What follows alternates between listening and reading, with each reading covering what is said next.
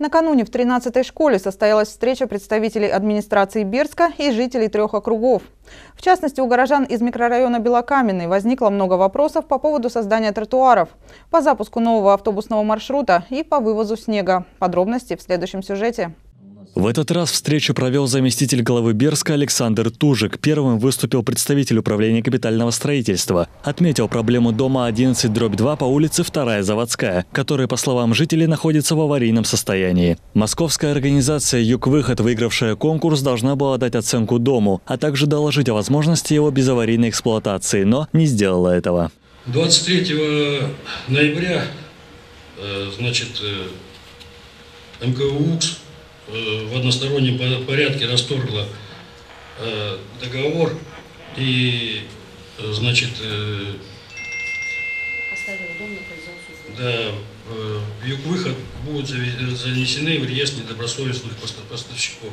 По словам замдиректора УКСа, денег московская организация не получила. В 2018 году будет проведен повторный конкурс. Горожане опасаются, что процедура затянется, а дом за это время разрушится. Остается надеяться, что следующий подрядчик окажется более добросовестным.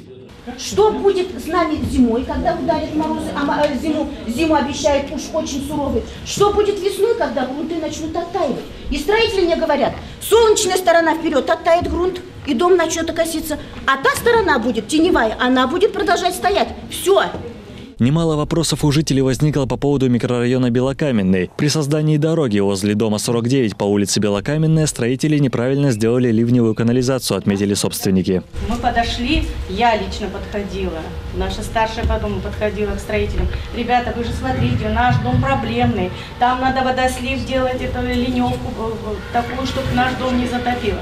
Ну что вы думаете? Делали, делали, перекрывали нашу дорогу там сколько раз, эту ливневку сделали на полметра выше нашей дороги. Этот вопрос занесли в протокол собрания и передали депутатам. Среди других тем жители Белокаменного жаловались на старые автобусы, а также на то, что они редко ходят. Надежда Нятина, начальник транспортного отдела Берска, пояснила, с февраля 2018 года откроется новый маршрут из Белокаменного в микрорайон.